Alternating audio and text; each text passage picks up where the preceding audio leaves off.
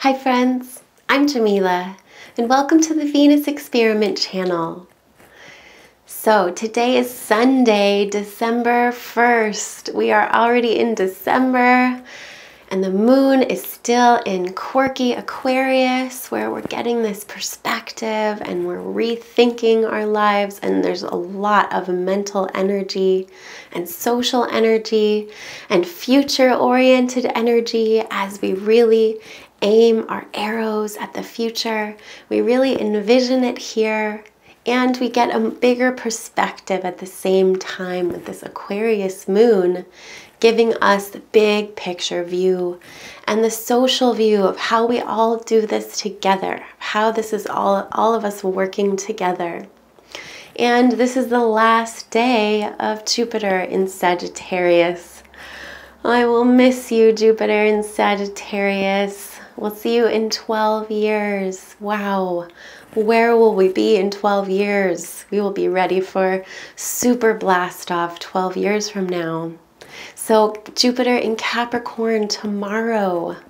So this means that the expansion, the growth, the wisdom, the knowledge is going to be coming from real world things, from real practical tools. We'll be bringing more tools in and how to manage resources, wisdom's coming into resources and expansion of this area of your life, wherever Capricorn is in your chart. Big expansion here. And this is the new vision that we all got this year of Jupiter in Sagittarius. This attuning of our souls to our true soul's purpose, this alignment with the Jupiter and the galactic center. This brought in a new beginning, a new time.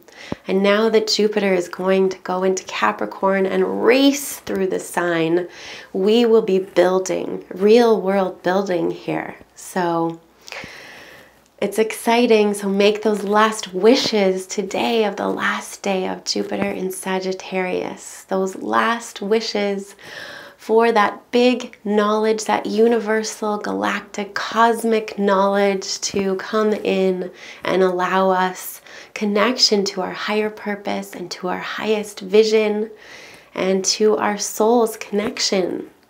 That connection to your highest self, that is Jupiter in Sagittarius. And then the shift of Jupiter into Capricorn is the real world steps. This is cardinal earth where we build, where we take the first literal step and we build and we find tools to bring us knowledge. Tools. Capricorn loves tools. We use tools to expand our minds and we make all of these visions real. So, big dreams and big visions today. Think about the future, dream of the future, make your wishes, do your new moon ritual to Jupiter that you align with your highest wisdom and your highest purpose and vision. And then we make it real. Tomorrow starts a whole year of Jupiter in Capricorn. Okay, friend, I hope you have a beautiful day today and envision your brightest future. Okay, have a great day. Bye.